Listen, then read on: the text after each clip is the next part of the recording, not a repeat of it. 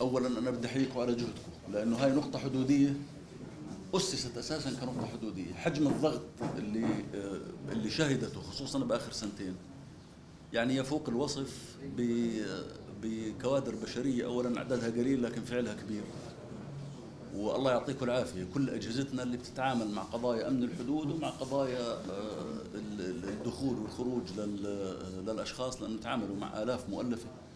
يفوق عددهم بكثير ما عهدناه على هذه النقطة الحدودية تحديدا.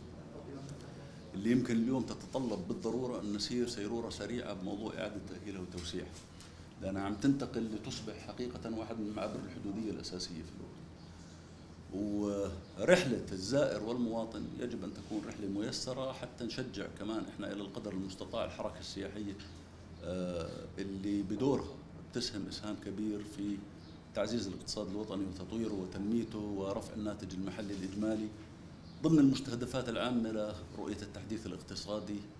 آه، وخصوصا في الشق المرتبط برفع نسب النمو الاقتصادي وربما أيضا عبر رحلة سياحية آه، آه، ناجحة ومريحة لمن يقصدنا بأن تقودها إلى استثمارات في المملكة الأردنية الهاشمية واستثمارات خاصة في المناطق المجاورة لحدود دول شقيقة آه، تمتلك القدرات المالية لتوجه استثماراتها إلى المملكة الأردنية الهاشمية بشكل أيضا يسهم في حل ومعالجة تحدي من التحديات المركزية اللي بنشهدها اللي هو تحدي البطالة. مع إنه اليوم آه، نسبة البطالة آه، انخفضت بواقع 1% عن العام الماضي وهو انخفاض نسبيا معتبر فيما يتعلق بالنسبة المئوية لكن لا تزال نسبة البطالة نسبة عالية إحنا حقيقة من ما قبل كورونا كانت نسبة البطالة قبل كورونا 19% في كورونا وصلت ل 23 الآن رجعنا لحوالي 21% آه، ولكن آه، الشق المرتبط بالتيسير في انتقال الأشخاص وفي دخول الأشخاص إلى المملكة الأردنية الهاشمية بتجربة آه، مقدرة ومحترمة ومريحة ستفضي دائما الانطباعات من شأنها. آه، أن توجه الناس ربما بالإضافة إلى حوافز أخرى متوفرة خاصة في في محيط منطقة العقبة. وامبارح إحنا كنا في آه، بواكير وبدايات مشروع المدينة الصناعية في القويرة. آه، اللي بوفر حقيقة مزايا كبيرة من خلال خصوصا التعاقد اللي تم على إنشاء بنى تحتية للغاز بتخفض قيمة وكلفة فاتورة الطاقة على أي مستثمر بشكل بيعطيه ميزة تنافسية اللي يوجه بهذيك المناطق ويوجه على هذيك المناطق لإنشاء مصانع ولإنشاء منشآت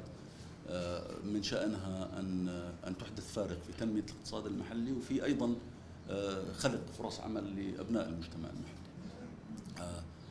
آه، فمن الضرورة بمكان أن نسرع إجراءات توسيع آه، وإعادة تأهيل آه، آه، نقطة حدود الدرة مركز الدرة. لأنها عم تشهد إقبال كبير وتنامي كبير في أعداد الداخلين إلى المملكة الأردنية الهاشمية عبر هذا المنفذ. آه، أيضا هاي بتوفر لنا طبعا آه، ربط مع المشاريع الإقليمية القائمة في دول الجوار وخاصة في المملكة العربية السعودية الشقيقة التي تجمعنا فيها آه، على مستوى آه، جلالة سيدنا وخادم الحرمين الشريفين وسمو الأمير الحسين بن عبد الله الثاني ولي العهد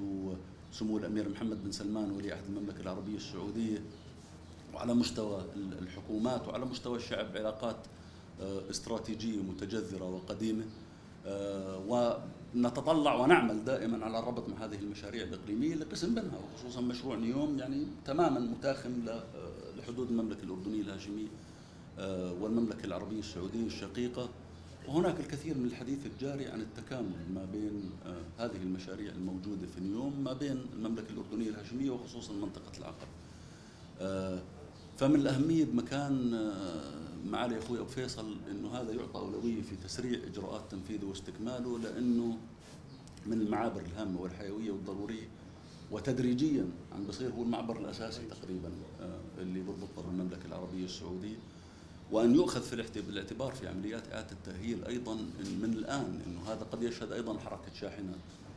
أن يوفر له البنى التحتية ال- ال- اللازمة آه، المرتبطة بأنه يكون في مخطط شمولي لتوسعته. آه، بماستر بلان صحية ما تصفوا مزنوقين بعد هيك آه، بحيز وبمدى إذا تطلب الأمر بعد ذلك إعادة توسيع أو توسعات إضافية تستتبع ذلك. ببنى تحتية مرتبطة ب آه، بتجربة ما بتتطلبش من الراكب إنه ينزل حتى إنه يستكمل معاملاته وهو قاعد في سيارته. لأنه التقدم التقني والتكنولوجي بيسمح بهالكلام وطبعا في تحدي الجو درجات الحرارة أنتم عارفين بالصيف كثير حامية فهي كمان تجربة مهمة. طبعا مع المحافظة على الجانب الأمني الضروري إنه نحافظ عليه لأنه آه، إحنا دائما نعتز بإنه من يدخل إلى المملكة الأردنية الهاشمية ومن يعيش فيها يحظى بنعمة الأمن والأمان آه، التي لا تقارن بأي شيء في محيطنا ولا تقارن بأي شيء حتى بأبعد من محيطنا وهذا يحيى وتحيى عليه قواتنا المسلحة الباسلة وأجهزتنا الأمنية آه، تحية ودين في عنق كل أردني نحو هذه الأجهزة والقوات المسلحة الباسلة آه، التي هي قرة عين أيضا جلالة الملك آه، لأنها دائما تقرن القول بالعمل بالإنجاز وتمثل حقيقة العين الساهرة على أمن وأمان الوطن والمواطن. وهذا هو الممكن الأساسي أساسا لأي تنمية اقتصادية واي وأي نمو اقتصادي حقيقي وأي تطور اقتصادي حقيقي وحتى لجذب الاستثمارات، فالله يعطيكم ألف عافية والله يقويكم يا إخوان.